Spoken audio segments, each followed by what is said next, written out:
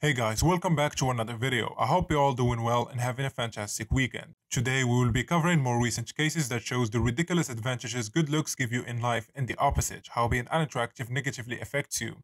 I have four new cases, two criminally related and two Hollywood related. I have many more videos of pretty privilege on my channel that you guys can check out. Small disclaimer, I do not condone or encourage the evil actions done by these killers in the video. All support goes out to the families of the victims. Thank you. If you want to support the channel and get your face evaluated by me with personalized looksmaxxing advice, link will be down in the description. If you want to read more about topics like these, you can check out my blog at nerofacerating.com. Without further ado, let's get this video started.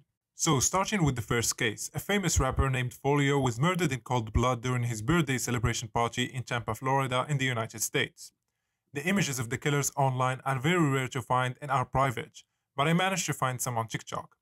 Here they are, you can definitely see that objectively the killer is good looking. Here is how women reacted to him. I'm gonna read you some of the comments. He looks too effing good. He is fine. I know he might be innocent, you all. Free you, he did nothing your honor. And you have CJ calling them out on the comments.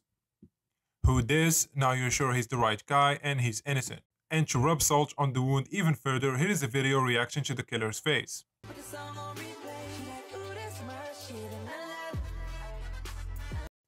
Moving on to the second case. This case I have already covered last week of the killer Wade Wilson. To keep things short, he killed two women in cold blood and women all over the internet were simping over him even though knowing the heinous acts he did. He is still for women a more suitable dating option than you.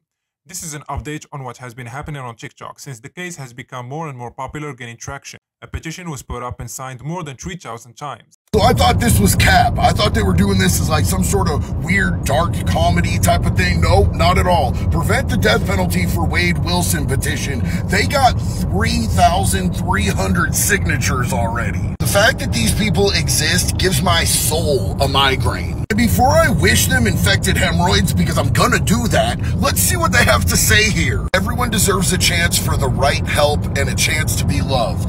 You are an awful person. I wish you all the hemorrhoids. All of them. Let God be the one to judge. Yes, let's send him to God right now. He might have done something bad, but two wrongs don't make a right. It's not about wrong and right. It's about taking monsters off our planet. I believe he deserves another opportunity. To what?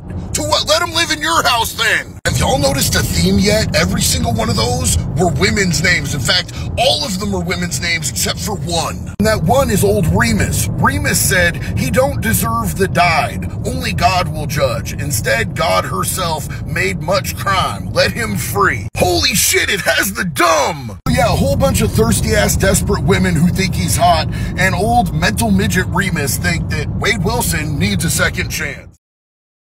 So moving on to the less dark but still sad cases. In the latest play of Romeo and Juliet done by Tom Holland and the actress Francesca, she received lots of hate and trolling due to her appearance and her looks. Here are some of the comments on screen for you to read when you pause the video. And for the final case, it's an interesting case of how actors look in Hollywood determine the role they play. This is related to the halo and horn effects. In the latest popular release of Netflix Baby Reindeer, the star of the show was given the role of a stalker due to her looks, again related to the halo and horn effects. You are judged by how you look. If she was more attractive, another role would have been assigned to her. But what do you guys think about all of this? Let me know your thoughts down in the comment section. That's it for today's video. Hope you guys enjoyed it. A like and subscribe will be highly appreciated. And like usual, catch you guys in the next one.